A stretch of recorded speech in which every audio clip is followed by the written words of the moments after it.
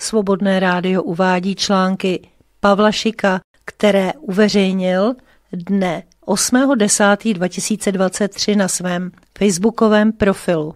Ve Wall Street Journal vyšel článek, že Irán pomáhal několik týdnů plánovat útok na Izrael. To by nás mělo asi znepokojovat nejvíc dle toho, jak pravdivě Wall Street Journal psal o válce na Ukrajině. Gaza je úzký kus země o rozloze 365 km čtverečních. Všichni měli dojem, že je plně sledována, odposlouchávána a monitorována izraelskou armádou a spravodajskými službami, ale ukázalo se, že tomu asi tak není. Pokud opravdu věříme v selhání, vyvinul pravděpodobně Hamas systém koordinace a komunikace, který vylučuje elektronické kontakty. A palestincům se nějak podařilo vše před izraelskou rozvědkou utajit. Krátce před útokem na kontrolní stanoviště a velká města 7. října Hamas koordinovaně rozmístil na svých pozicích MLRS, pozemní síly, paravýsadky a další vybavení. Přípravy a první kroky zůstaly nepovšimnuty a preventivní úder nebyl zahájen. Elektronické systémy na hranicích, do jejichž vybudování a vybavení Izrael investoval miliardy dolarů, byly nepoužitelné. Četné kamery a senzory také nepomohly odhalit a zastavit palestinský útok, stejně jako bojové hlídky, které z nějakého důvodu prostě nebyly na blízku. Palestinské drony dokázaly snadno zasáhnout automatické kulomety a senzorové věže a útočné týmy Hamásu klidně vyhodili do povětří plot a překročili hranici. Nikdo se na ně nepokoušel zaútočit. Kvůli selhání poplachu zahynuli stovky vojáků IDF v táborech, v kasárnách i ve spánku. Navzdory všeobecné úvaze, že palestinci se vyhnou opevnění a základnám IDF je palestinci neobcházeli, agresivně vtrhli na kontrolní stanoviště i na základny, kde se nacházeli vojáci a obrněná vozidla. Zatím není jasné, kde se v té době nacházely hlídky, strážní ve službě a krycí jednotky. Izraelský tank Merkava MK4 zničený schozem granátu z dronu byl zasažen na jednom z nejchráněnějších míst z hora. Zároveň byl zřejmě vyřazen z provozu komplex aktivní ochrany Tropy. Tropy je vojenský aktivní ochranný systém určený k ochraně vozidel před protitankovými řízenými střelami, raketovými granáty, protitankovými raketami a vysoce výbušnými protitankovými náboji. Na záběrech zničení tanku a zajetí posádky je jasně vidět, že zbraň vozidla je zakrytá. To naznačuje, že posádka nepřipravila vozidlo na boj a spolehala pouze na zastrašování, což je při takovém útoku nejen hrubé porušení instrukcí, ale také prostě hloupost. Všechny komunity, zejména pokud jde o oblast vedle pásma Gazy, musí mít připraveny plány pro případ eskalace konfliktu. Nebylo však provedeno žádné organizované varování ani evakuace. Ukázalo se, že místní bezpečnostní síly jsou tak málo početné a špatně vyzbrojené, že byli palestinci rychle zlikvidovány. Evakuace pohraničních oblastí byla vyhlášena následující den. V zemi byla sobota ráno, šabat. Přibližně dopoledne 7. října izraelská vláda na boje prakticky nereagovala. Teprve ve 14 až 15 hodin začaly bezpečnostní složky schromažďovat záložníky a organizovat odvetné nálety. Počet obětí se vyšplhal na 700. 100 lidí bylo uneseno, 2200 zraněno. Po následných útocích v Gaze bylo dle zpráv zabito 370 palestinců, z toho 78 dětí. Podle vysokého představitele Hamásu drží Hamás a palestinský islámský džihad od nedělní noci více než 130 rukojmích, včetně vysokých důstojníků.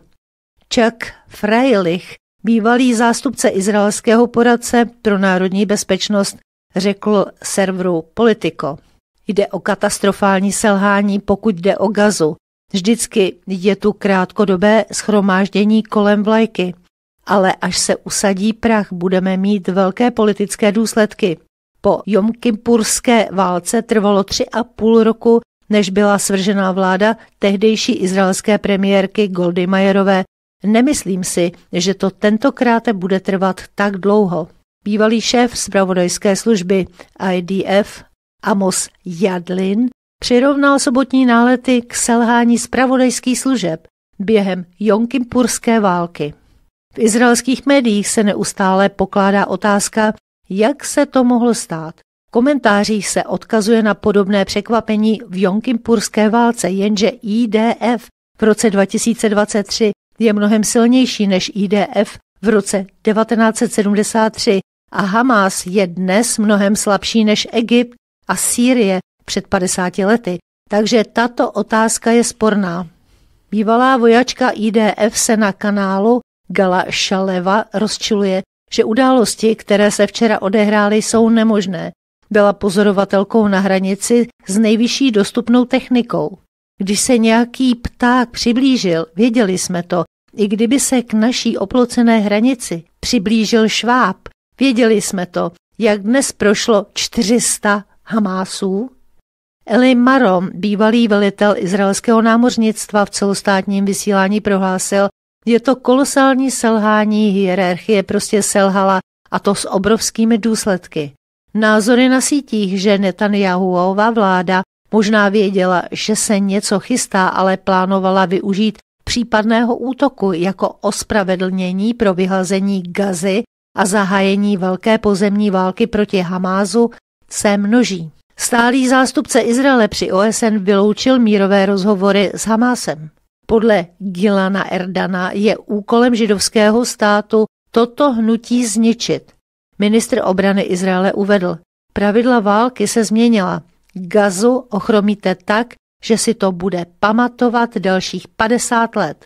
Izrael schromažďuje techniku před Gazou, pravděpodobně se v nejbližší době rozhodne o pozemní invazi. Tomu se Izrael brání cirka 20 let. Hizbalách opakuje, že pokud Izrael vkročí do Gazy, zahájí útok na sever Izraele. Elitní speciální jednotky Hizbaláhu, jednotky Raduan, byly prý rozmístěny na hranici s Izraelem v oblasti Metula. Jsou vyzbrojeni ATGM, stovkou bezpilotních letounů kamikadze a také ostřelovacími puškami Orsis T-5000 a Hezbalách má v zádech Irán, Sýrii. Izrael naléhavě žádá USA o spravodajskou pomoc ohledně vývoje v jižním Libanonu. Oficiální telegramový účet Hamásu dnes vydal tiskovou zprávu o tom, že iránský prezident Ayatollah Ebrahim Raisi dnes poslal vůdci Hamásu blahopřání a telefonát k útokům na Izrael. Izrael uzavřel Jeruzalém a západní břeh Jordánu. Objevily se videa střetu mezi palestinskými občany a izraelskými silami v Jeruzalémě. Bojovníci Hamásu zahájili z Gazy nový raketový útok na Izrael. Hamás oznámil, že hodlá zaútočit na mezinárodní letiště v Tel Avivu. Iránem podporované milice v Iráku vydali prohlášení, ve kterém varují, že pokud USA poskytnou vojenskou podporu Izraeli, zaútočí na všechny americké vojenské báze na iráckém území. Turecká armáda údajně zahájila přeshraniční operaci v horách Metina v severním Iráku proti kurdským silám PKK. Americký senátor a válečný jestřáb, vys jeho výroky kolem Ukrajiny, Lindsey Graham říká, že USA a Izrael by měli v případě eskalace ze strany Hamásu a Hezbaláhu zaútočit na Irán a zasáhnout jeho ropné rafinérie a ropnou infrastrukturu. Spojené státy varovaly třetí strany před pokusy zasahovat do vyostřeného konfliktu mezi skupinou Hamás a Izraelem, uvedl americký ministr zahraničí Anthony Blinken. Americký ministr války Austin prohlásil, že poslal americkou letadlovou loď USS Gerald R. Ford, největší letadlovou a největší válečnou loď, která byla kdy postavena, stejně jako další lodě 12. letadlové úderné skupiny, která zahrnuje křižník třídy Ticonderoga USS Normandy a torpédoborce třídy Erlightburg USS Ramash. USS McFall a USS Thomas Hadner do východního středomoří. Kromě rozmístění lodí Austin řekl, že USA zvyšují přítomnost bojových letounů v regionu. Také jsme podnikli kroky k rozšíření stíhacích letounů F-35, F-15, F-16 a A-10 amerického letectva v regionu. My nesmíme ani naznačovat, ale říkám si tak, kdo kopl do toho vosího hnízda jako první? A já dodávám za svobodné rádio, a kdo to připravoval, aby se koplo. A teď si dáme ještě další článek od Pavla Šika s názvem Blízký východ, USA a Ukrajina.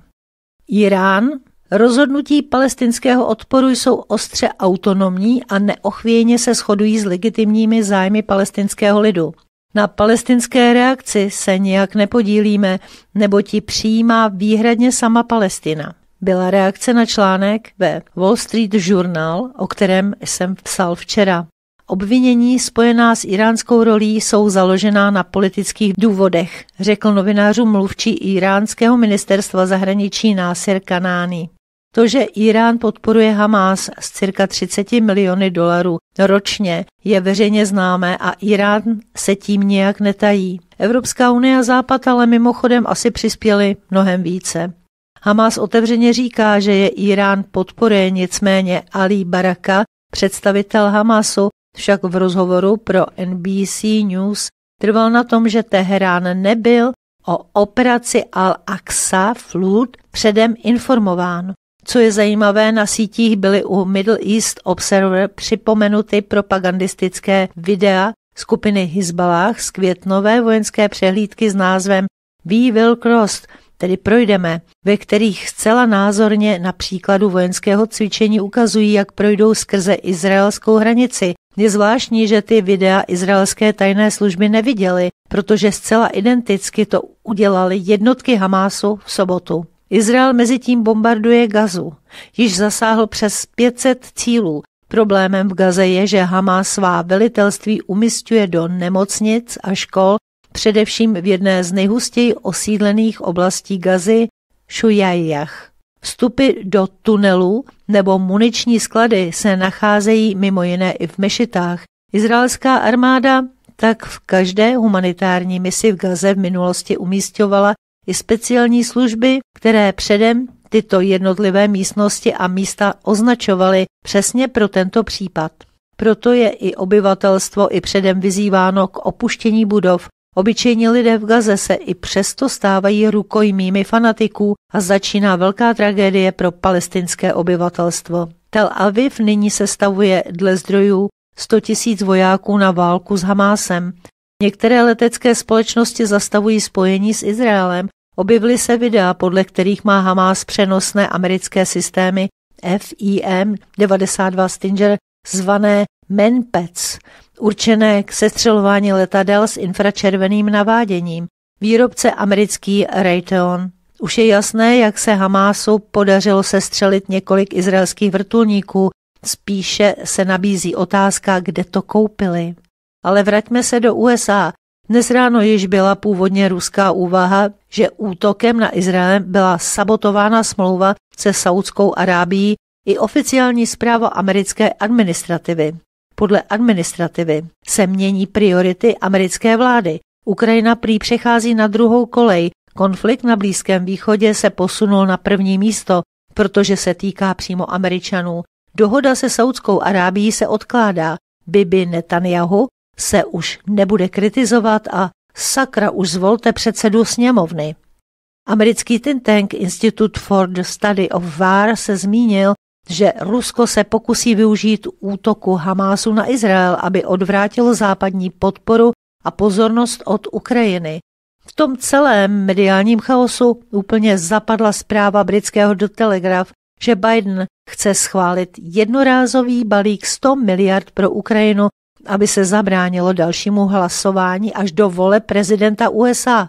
Politiko také uvádí, že by se v současné patové situaci sněmovny mohl použít program Ministerstva zahraničí pro financování zahraničních vojenských operací nebo i výměna s Polskem, kdy Polsko dostane americko-izraelský Iron Dome a předá své patrioty Ukrajině.